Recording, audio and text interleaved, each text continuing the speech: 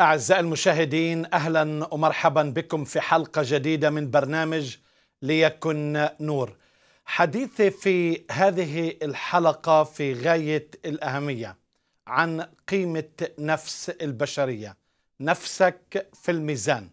فأنا بدعوك أنك تشاهد هذه الحلقة لأن هذه الحلقة مصيرية وأبدية أيضا بتهم كل واحد منا بتهم كل مشاهد.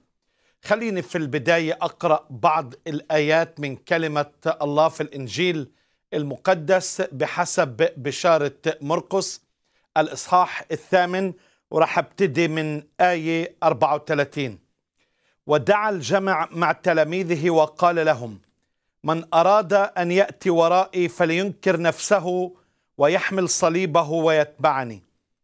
فإن من أراد أن يخلص نفسه يهلكها ومن يهلك نفسه من أجل ومن أجل الإنجيل فهو يخلصها. لأنه ماذا ينتفع الإنسان لو ربح العالم كله وخسر نفسه؟ أو ماذا يعطي الإنسان فداء عن نفسه؟ لأن من استحى بي وبكلام في هذا الجيل الفاسق الخاطئ فإن ابن الإنسان يستحي به متى جاء بمجد أبيه مع الملائكة القديسين.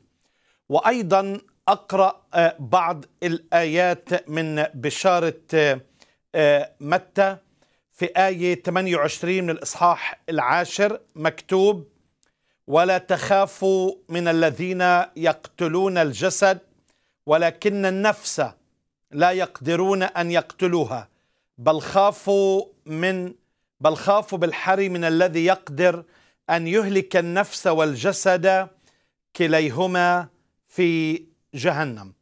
أنا بدعوك أنك تشاهد هذه الحلقة.